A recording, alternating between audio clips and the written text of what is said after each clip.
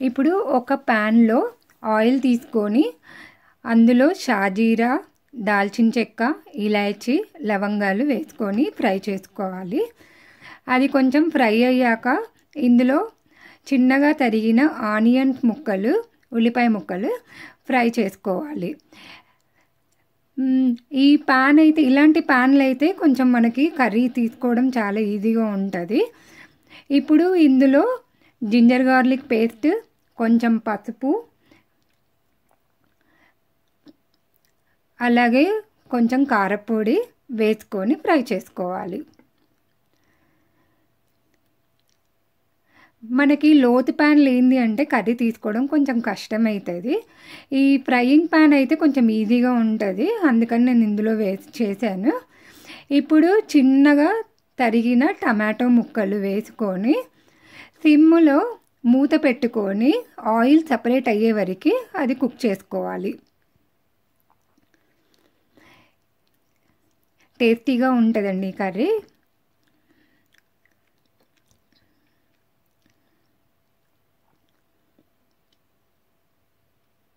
Almost ఉడికిందండి. ఇప్పుడు ఇందులో కొంచెం సాల్ట్ తగినంత సాల్ట్ కసూర్మేతి వేసుకొని కలుపుకోవాలి. అలాగే నేను జీలకర్ర పొడి ధనియాల పొడి కూడా వేశాను కానీ వీడియోలో చూపెట్టడం కుదరలేదు. తర్వాత గరం మసాలా వేసి బాగా కలుపుకోవాలి. కొంచెం కూర కనుక బాగా చిక్కగా అనిపిస్తే కొంచెం వాటర్ వేసు వాటర్ పోసుకొని మంచి కలుపుకొని కాసేపు మళ్ళీ మూత పెట్టుకొని ఉడకబెట్టుకోవాలి.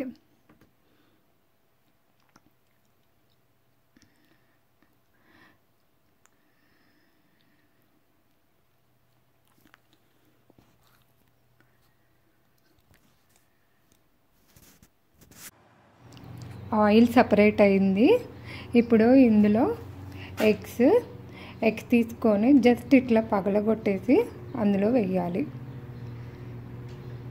దూరం దూరం వేసుకోవాలి. దగ్గరకు వస్తే ఏంటంటే అన్నీ మిక్స్ అయిపోతాయి. మనకి మంచిగా రాదు. ఈ ప్యాన్లో ఏంటంటే ఒక సిక్స్ ఎగ్స్ వరకు పడతాయి. బట్ నేను ఒక ఫైవ్ వేసాను. దాన్ని అస్సలు కదపొద్దు.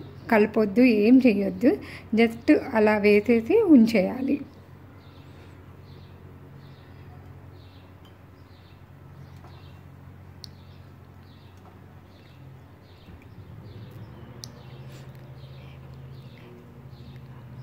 ఈ ఈ ఎగ్ కర్రీ ఏంటంటే జస్ట్ ఫ్లాట్గా ఉంటుంది కాబట్టి మా పిల్లలు దీనికి ఎగ్స్ మ్యాట్ కర్రీ అని చెప్పి పేరు పెట్టుకున్నారు. సో అందుకని నేను కూడా ఎగ్ మ్యాట్ కర్రీ అని చెప్పేసి చెప్తున్నా మీకు. ఇందులో స్పెషల్ ఏం లేదండి. అందరూ చేసుకునే కర్రీయే బట్ ఏంటి అంటే మేము చేసే కాబట్టి జస్ట్ మీకు వీడియో చూపెడుతున్నాను. ఇప్పుడు మూత పెట్టుకొని కొంచెం తీసుకు కాసేపు పెట్టి తీసేసి అందులో అందులో పైన మనము గరం మసాలా కొంచెము డ్రై మేతి కొంచెం ఆ ఎగ్స్ మీద జస్ట్ స్ప్రింకిల్ చేసుకోవాలి. ఎందుకంటే ఆ పైన కూడా కొంచెం మనకు టేస్ట్ ఫ్లేవర్ అనేది తగులుతుంది. తర్వాత కొత్తిమీరతోని గార్నిష్ చేసేసి ఆ ఎగ్స్ బాగా బాయిల్డ్ అయ్యే వరకు మనం మూత పెట్టుకొని సిమ్లో కుక్ చేసుకోవాలి.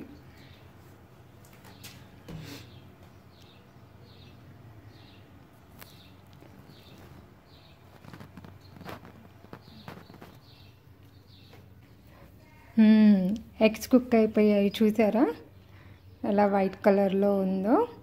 ఇది ఎక్కువసేపు ఉడికించుకోకూడదు. అప్పుడు ఎగ్స్ ఏంటంటే హార్డ్ అయిపోతాయి. అది డిఫరెంట్ టేస్ట్ ఉంటుంది. ఎగ్స్ హాఫ్ బాయిల్ టెక్స్చర్ ఉంటుంది లోపల. ఇప్పుడు ఒక ప్లేట్లోకి సర్వ్ చేసుకుందాము. ఇది ఇలా ఏ ఎగ్ ఆ ఎగ్ కట్ చేసుకుంటే మీకు లోపల ఎల్లో కూడా ఒక్కొక్కరికి వస్తుంది. యమ్మీ కదా?